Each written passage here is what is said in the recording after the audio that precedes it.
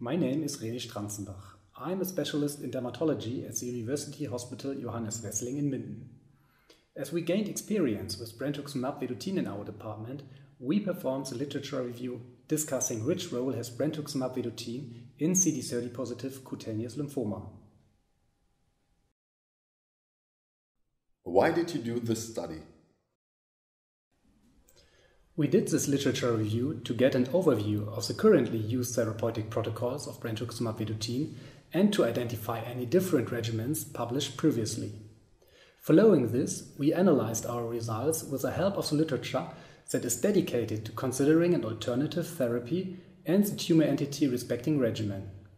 Another aim of the study was to check whether dose reduction or modified time intervals could benefit in a similar activity with less toxicity. How did you do it?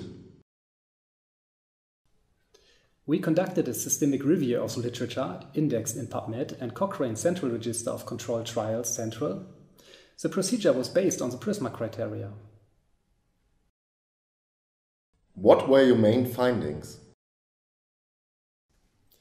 The review showed that the currently used therapeutic regimen is 1.8 mg per kilogram every three weeks.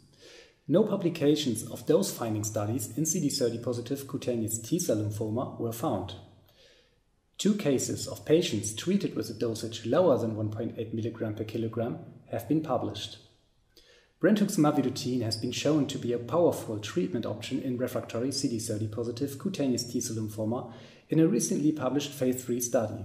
And combining this with our own observation, we noticed a trend that both dose reductions and prolonged treatment intervals are effective without any loss in the quality of the treatment but with fewer side effects. Why is this study relevant to dermatologists and patients with CD30 positive lymphoma of the skin? Brentuximab vedotin is a promising treatment option against CD30 positive cutaneous T-cell lymphoma. Compared to the currently used scheme, the lower dosage and prolonged intervals in this alternative option could result in less severe side effects like drug-induced neurotoxicity without any loss of efficacy. The possible protocols are presented in this thesis. However, prospective studies should be carried out to obtain more information about the optimal treatment regimen.